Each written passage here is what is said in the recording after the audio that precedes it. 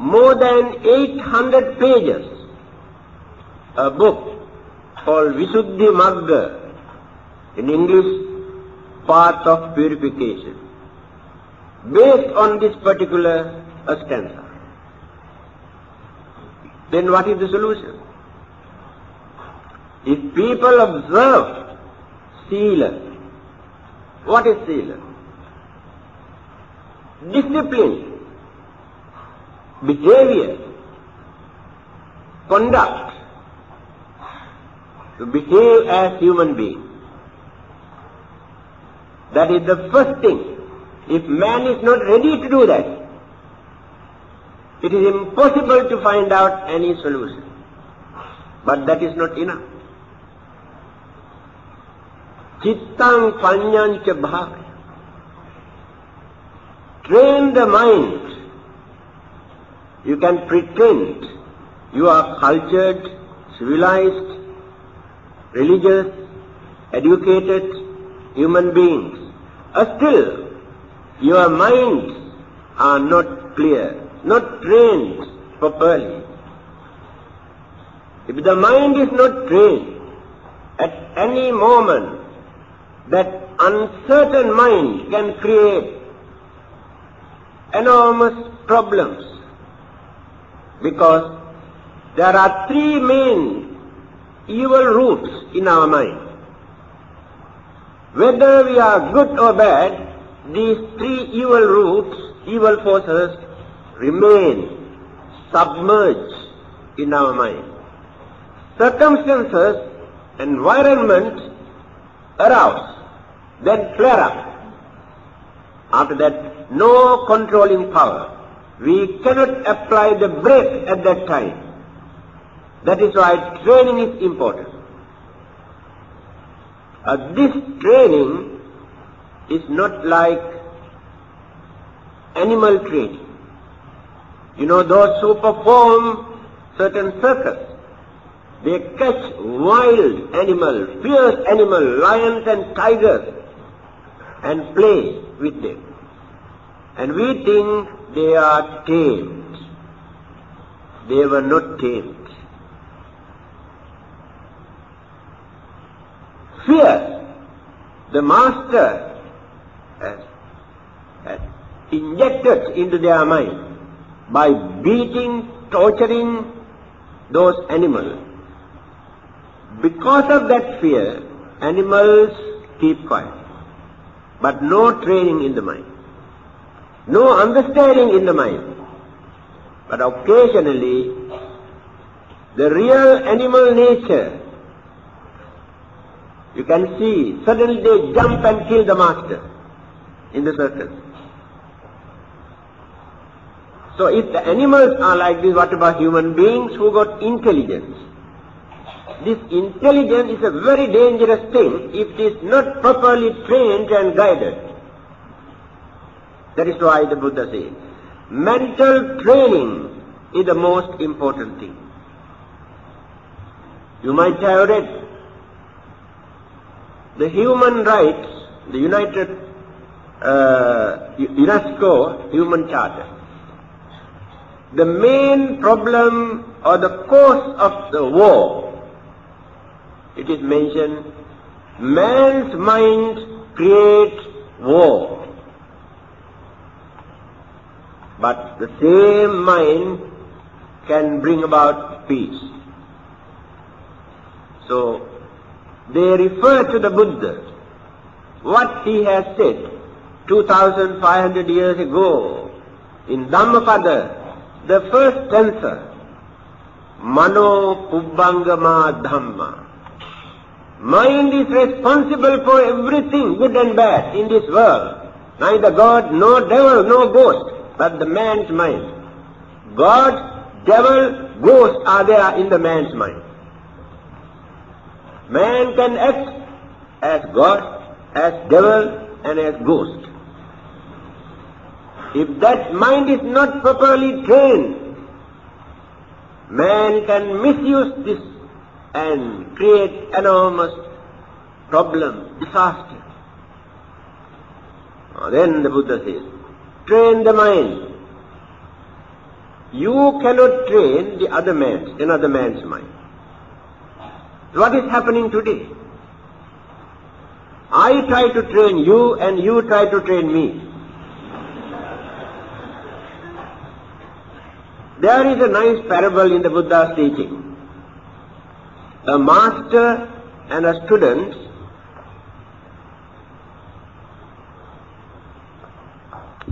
when they were going to perform a very risky trick, tricks, acrobats. The master told the disciple, this trick is very, very risky. Therefore, you must try to protect me. I try to protect you.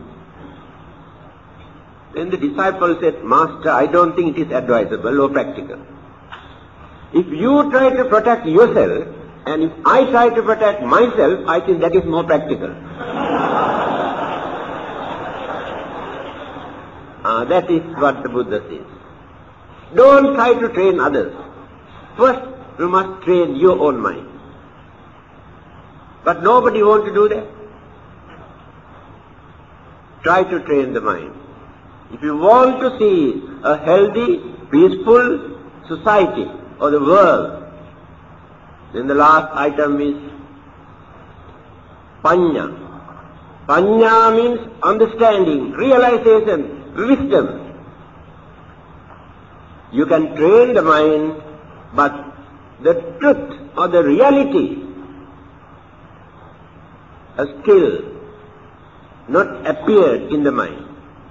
Therefore can be misled at any time. So, moral development or discipline is the foundation. First you have to lay this foundation. Without laying this foundation, it is impossible for you to build up. Any moment can collapse because the foundation is not strong enough. Uh, then train the mind to stand firmly. It is unshakable now. Then climax. Wisdom, understanding.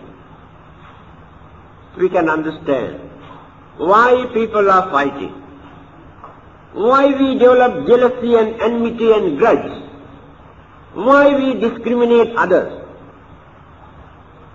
We can understand. But today we cannot understand. We give all sort of excuses for our own benefit. We disregard others' feelings. Remember, the way how Buddha has introduced for us to cultivate morality or discipline, not because of fear of punishment. If you do that, you are selfish. If there is no such punishment, you can do any kind of dirty, vulgar, wicked, cruel thing in this world because no punishment. On the other hand, you are willing to do some service to others, help others, then there must be some reward from heaven. Otherwise you are not ready to do that. This mental attitude is real selfishness.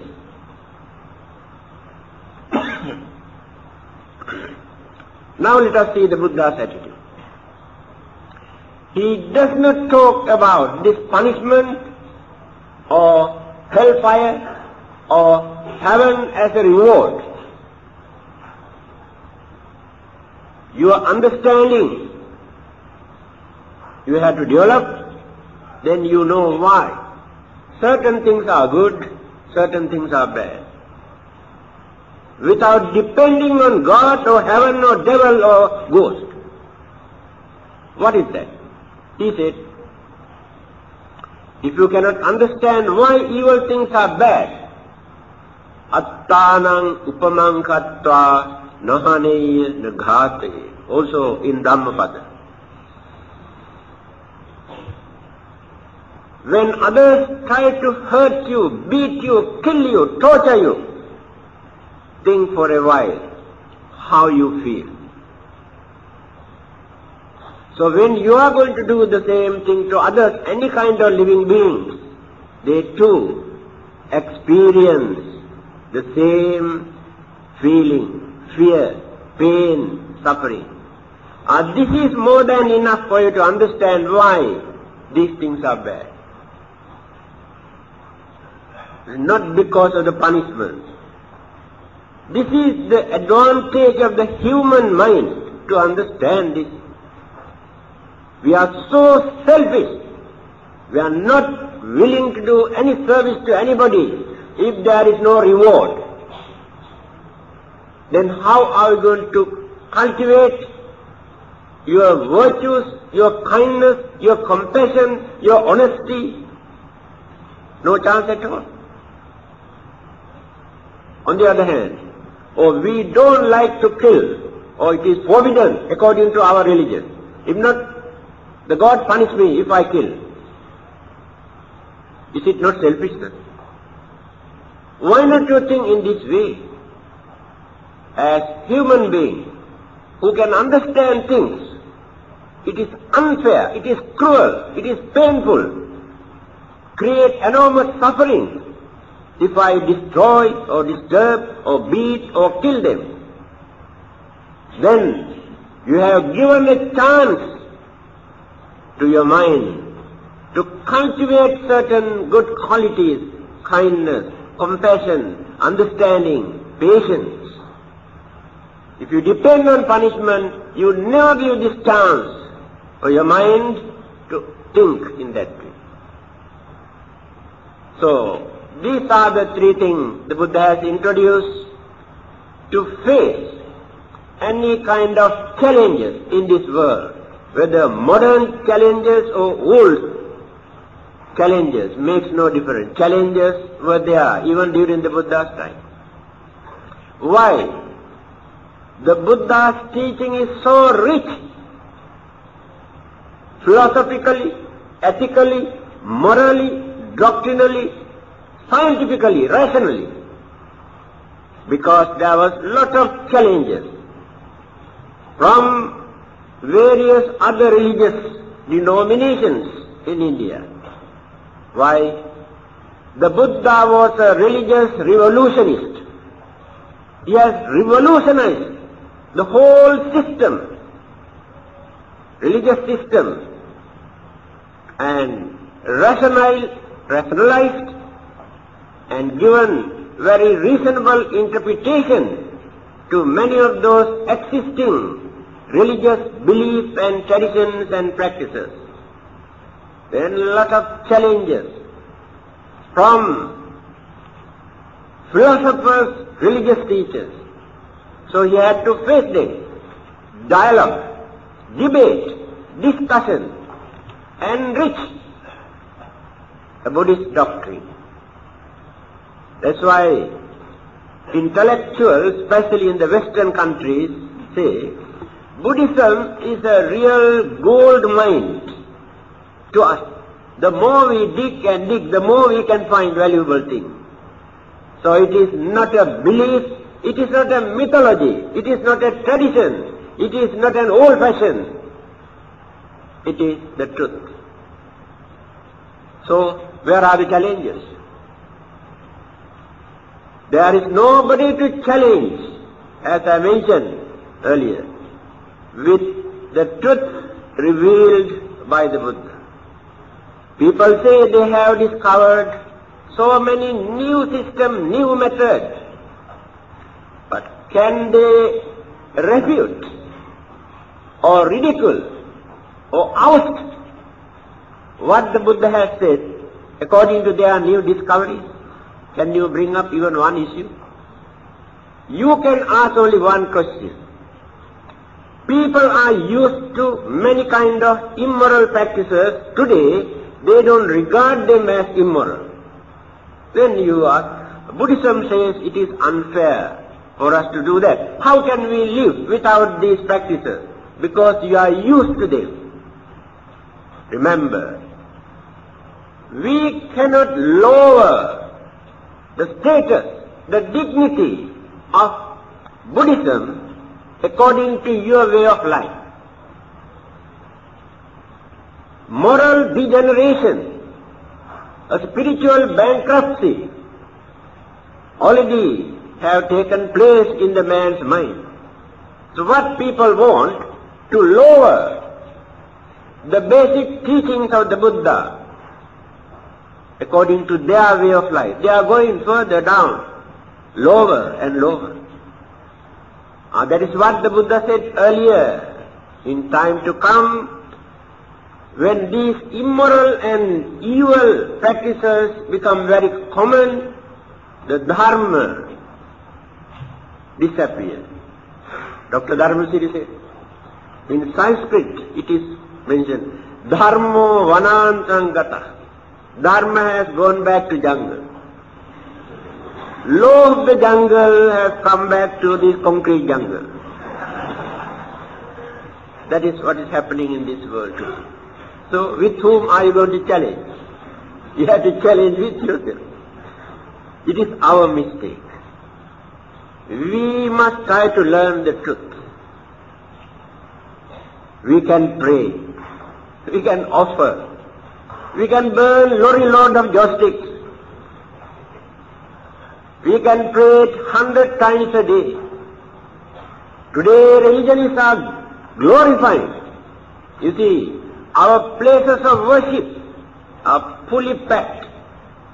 Churches, temples, mosques, thousands of devotees go and pray and pray. We prosper because when we open our charity box, we can see lot of money. Religion is progressing. This is the way how they measure the development of religious life. But when you observe among those who go and pray as pious devotees, jealousy, anger, grudge and ill will and cruelty, all the evil forces are boiling in their mind. Why do they want to pray? Because they have committed lot of sins. And go and ask God, please forgive, wash away all my sins. Then tomorrow also I can do the same thing. Otherwise, why do they want to pray? As Buddhists, we never pray to anybody because we are not culprits. So, we try to adjust ourselves we do not depend on anybody. We cultivate our way of life. We have weaknesses. So, just this morning, Dr. Dharmasiri made a beautiful statement. Please remember this. He said, the Buddha did not introduce a religion for you to follow. All the others are followers. So we are not followers of the Buddha or anybody. Buddha says, instead of following, you must try to learn. After learning, you must think, try to understand. After that, practice. Then, experience whether it is right or wrong, you can understand. Pacchattam veditabbo vinyohi. So each and every person can experience this according to their way of practice. Pariyatti, Patipatti, Pativedha, three ways. First, you have to study. How many people have learned the Buddha's teaching? They do not know anything about it. When they talk about Buddhism, they say, people say. That's what people say. But they don't know what the Buddha has said.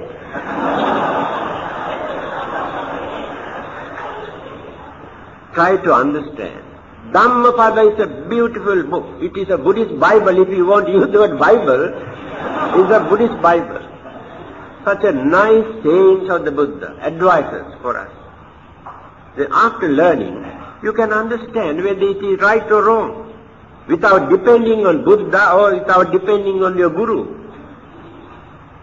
Because you have human mind to understand, but you never give that chance.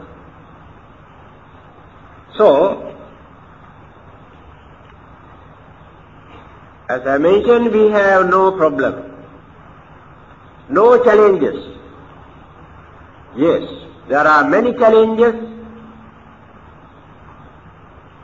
regarding your practices, especially from other religionists. The way how they try to ridicule this religion. They say you are idol worshippers, you worship a devil, how can a dead man can save you, forgive your sins? And why do you want to burn joss sticks and papers? To whom are you praying? How can you find out your way to heaven? These are the things. But can they mention even one word uttered by the Buddha? The Buddha said like this, it is wrong. Can they say? Then what are they talking? Alright. They may come and tell you, if you accept this religion, after your death or when you are going to die, the God forgive your sins, original sins. Otherwise you have no chance to go to heaven.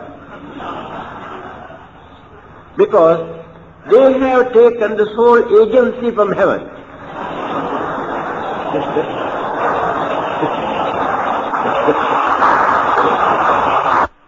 Those who have no religious labels also can go to heaven if they can maintain all the good qualities and virtues and human dignity. Heaven is open to everybody. Religious label is not important. At the gate of the heaven, I don't think there is anybody to see your label whether you are Buddhist or Christian. well, they say, after your death, they take away your original sin. How do they, how do you know whether they can take away your sins or not after your death. Nobody come and report, isn't it? They are very clever. If they can do that, they should have done from the birth. Then we can understand whether the sins were forgiven or not. Please remember, from the Buddhist point of view, if there is anybody in this world who can take away your sins, you are the only one who can do that. But not simply by worshipping or praying to anybody. If there is anybody in this world who can forgive your sins, you are the only one who can do that. Another person cannot forgive your sins.